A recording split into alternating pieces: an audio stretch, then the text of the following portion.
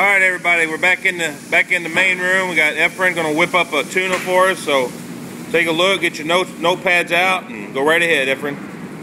You're going to see he's going to start up by cutting that collar out of the tuna there. This fish is H and G. We've already we've already took the um, head off of it, and actually I think there's still some guts in it. He'll clean those out here in a little bit, but he starts by taking the collar off. Nice whack on the collar. I'm just going to let this run and let him take pictures. He's spraying his board down, all that good stuff. Keeping the area clean as possible. Starts off tail piece on top of the backbone. Rips through it there as he's feeling the bones as he's going through it, just staying along the bone line. He reaches all the way down into the center of it, then he goes below the bloodline or below the, the uh, backbone line there. That's cut number two. The first cut was above the line and second cut was below the uh, back line. And he flipped it over and did the belly. Now he's doing the other part of the belly. He's on uh, the top part of the belly section. Reaching all the way down to the center cut. Now he takes the other knife and comes straight down the bloodline there.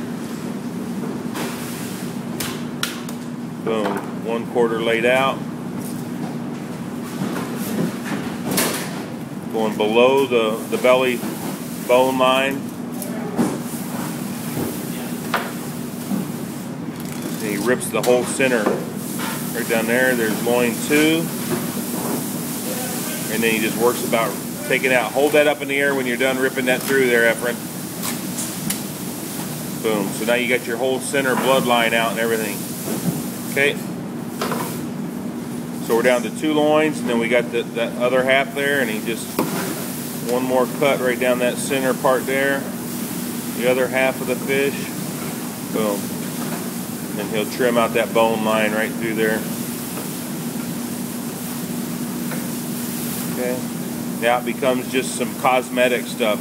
Trim off a little tail, get, get the loin wiped down, any kind of extra little trim ups that he's doing there, cutting out the, the rib line bone there, trimming it down, leaving a little bit of the bellies on it there.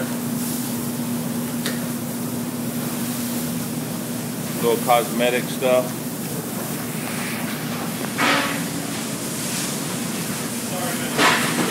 trimming up, just trimming up the outer bloodline, any kind of bone line that might be left in there.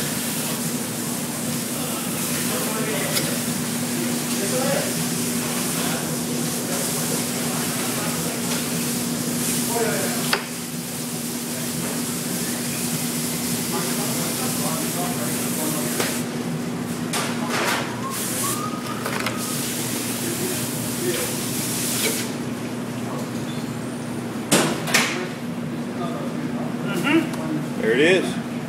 Thanks, Efren. All right.